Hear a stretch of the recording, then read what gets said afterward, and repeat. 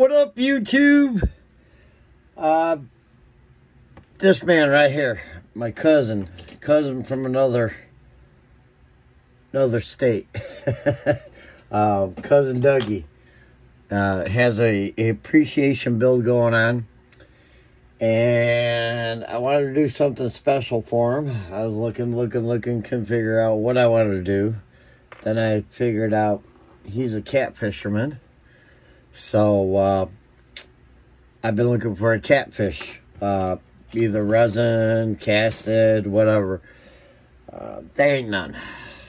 So then I was thinking Sasquatch.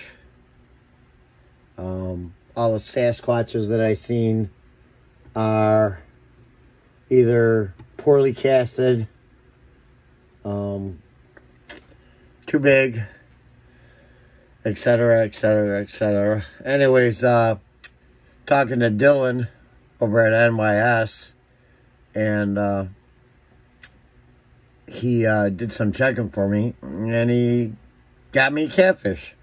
So uh, I'm doing this video on. I don't even know what the hell the date is today. I'm doing this on the uh, 13th. Dylan sent it to me a couple weeks ago. With me being out of town, kind of hard to get on it. So I got on it, got it done. Uh, so it is done, and it's for cousin Dougie, and uh, I think it's pretty cool. So let's show you what I got. This is uh, I'm putting this video up, but I'm not posting it until he tells me he gets it. So uh, I want him to be surprised. I think he'll. I think he'll dig it. Anyways, uh, let's show you what I got. Me and Dylan laughed for a couple hours after he, he printed this thing. That is pretty freaking cool, ain't it? and it's got a hole here, cuz. Got a hole on the bottom. Uh, you'll have to find a twig or a branch or something you can kind of mount them on. And, uh, put them on your shelf. That is pretty freaking cool. So thanks to Dylan for doing that for me. And uh, we painted them up. I've got to gloss coat them still.